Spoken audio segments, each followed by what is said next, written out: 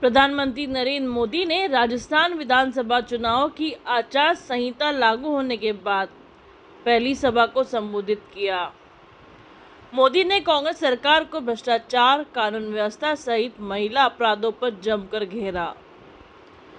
नरेंद्र मोदी ने कहा कि महिला अपराधों की बात करो तो कांग्रेस के मंत्री राजस्थान को मर्दों का प्रदेश बताते हैं।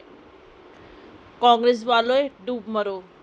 इस कांग्रेस सरकार ने भ्रष्टाचार की हद पार कर दी है। हम वादा करते हैं कि जनता को लूटने वाली बड़ी मछली ही नहीं, मगरमच्छों को भी नहीं छोड़ेंगे। कृषि मंडी में हुई सभा में मोदी ने कहा कि कांग्रेस की सरकार में राजस्थान के लोगों के साथ मानवता को शर्मसार करने वाली वारदातें हो रही हैं। उदयपुर में कन्हैयालाल के साथ आतंकी घटना, राजस्थान सरकार पर बहुत बड़ा दाग है। यह घटना इसलिए हुई क्योंकि यहाँ आतंकियों के साथ सहानुभूति रखने वाली कांग्रेस सरकार है। आतंकियों की हमदर्द कांग्रेस राजस्थान को तबाह करके मानेगी। इन्होंने रामनवमी और कांवड़ यात्रा पर प्रतिबंध लगाया और आतंकी संगठन पीएफआई की रैली निकलने दी। राजस्थान के कितने ही क्षेत्रों में अब गरीबों के पलायन की खबरें आने लगी हैं।